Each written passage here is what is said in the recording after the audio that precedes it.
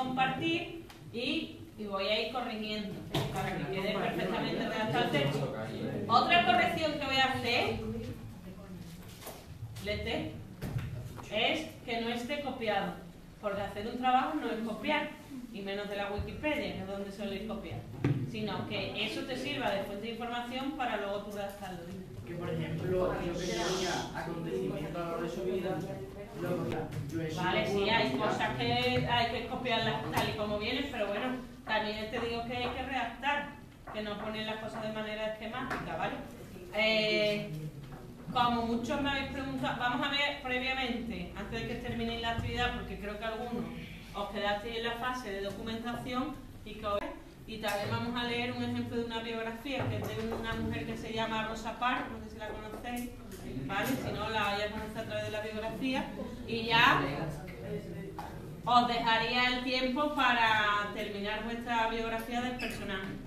Está terminada cuando me la compartís y yo la corrijo. Ahí ya se ha terminado la actividad.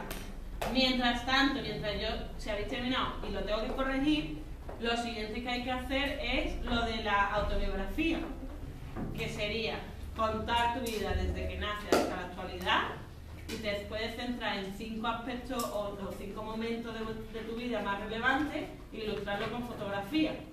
¿Vale? Venga, vamos a ver primero. Pero Este, Marta, dime. como Hugo se ha ido a Londres,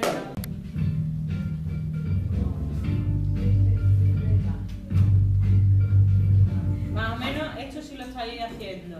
¿no? Seleccionar el personaje, la búsqueda de información de fuentes, que dijimos que a lo mejor no solo valía una única fuente de información y hasta ahí más o menos. Y estas preguntas serán las que tenéis que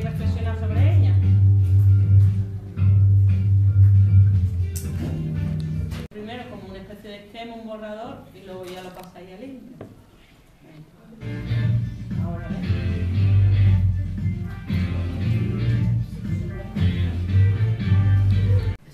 no sabéis quién es, ¿no? Para el autobús de los blancos. ¿Quién lo ha dicho? Muy bien, esa es. Vamos a.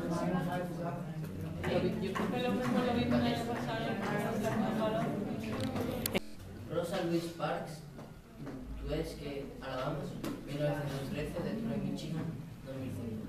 Esa es la fecha de nacimiento y de y cuando murió. Venga. Un año después de nosotros. Defensora de los derechos civiles estadounidenses. Hija de un carpintero y de una maestra. Rosa Louise McLean. Tal era su nombre de soltera.